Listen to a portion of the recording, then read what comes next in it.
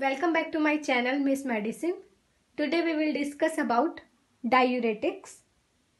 What is diuretics? A diuretic is a substance which promote diuresis. It means it increase the production of urine.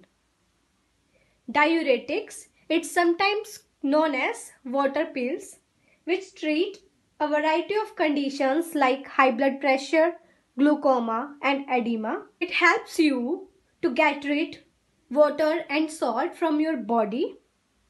It makes your kidneys release more sodium into your urine. The sodium then takes water with it from your blood that decreases the amount of fluid which flow through your blood vessels and which reduce the pressure on your vessels. Diuretics divided in many groups like osmotic diuretic, loop diuretics, thiazide diuretics, potassium sparing diuretic and carbonic anhydrase inhibitors. We will discuss in this video about drugs, their mechanism of action and where these drugs will act in your body and or the site of location. So let's get started. First group is osmotic diuretics.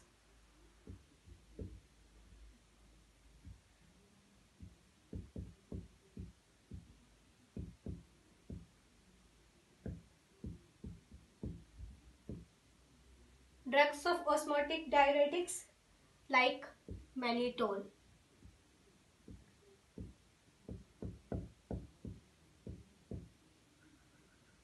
What is the mechanism of action of osmotic diuretics? It inhibit water and solute reabsorption.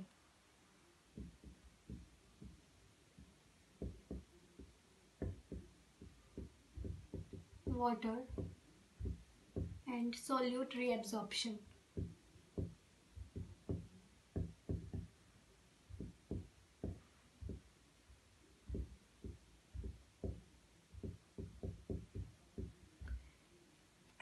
What the site of location it acts in the all part of tubule but mainly proximal tubules. Mainly proximal convoluted tubules. Next group is loop diuretics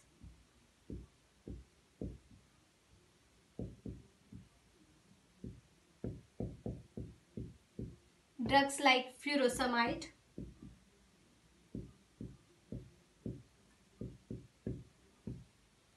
and torsemide.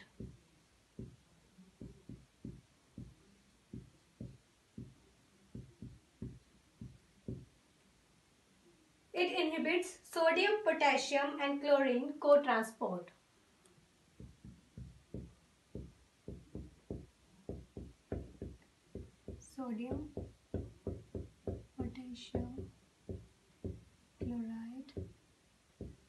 Co-transport and where it acts? It acts on thick ascending loop of Henle.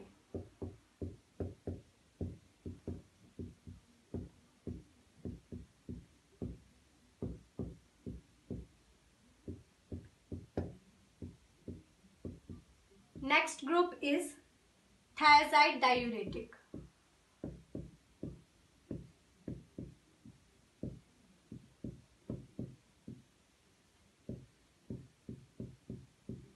Drugs like hydrochlorothiazide,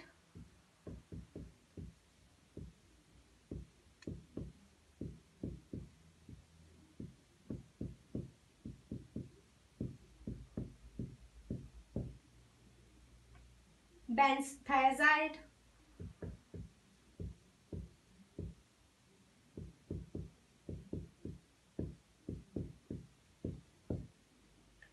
chlorthalidone,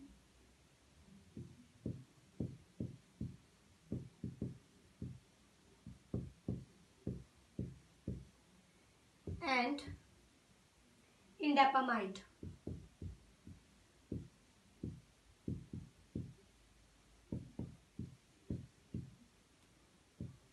It is the mechanism of action. It inhibits sodium chlorine co-transport.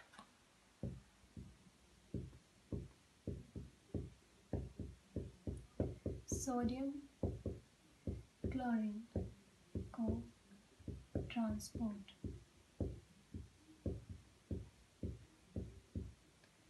What is the location where it acts? Distal tubule. Distal tubule.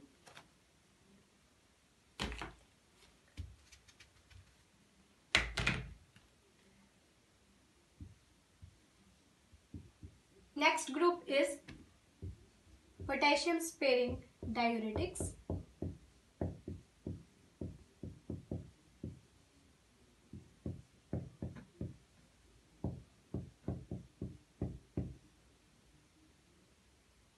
Drugs like spironolactone,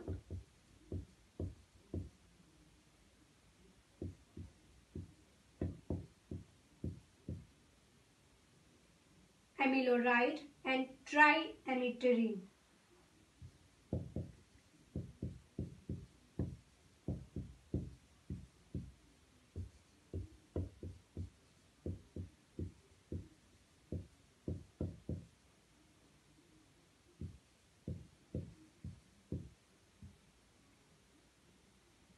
It decrease sodium reabsorption and decrease potassium secretion. Sodium reabsorption and it decrease potassium secretion.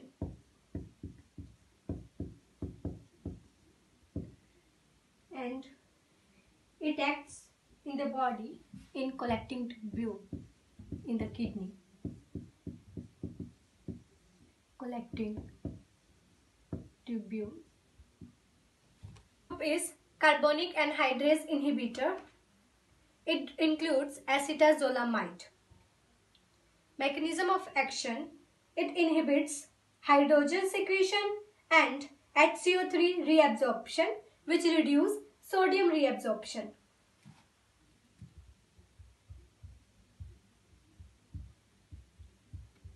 Inhibit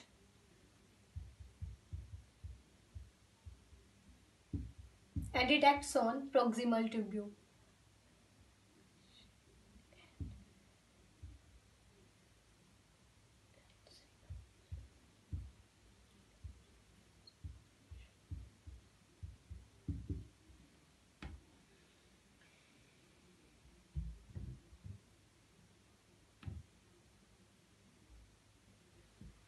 Which reduce sodium reabsorption.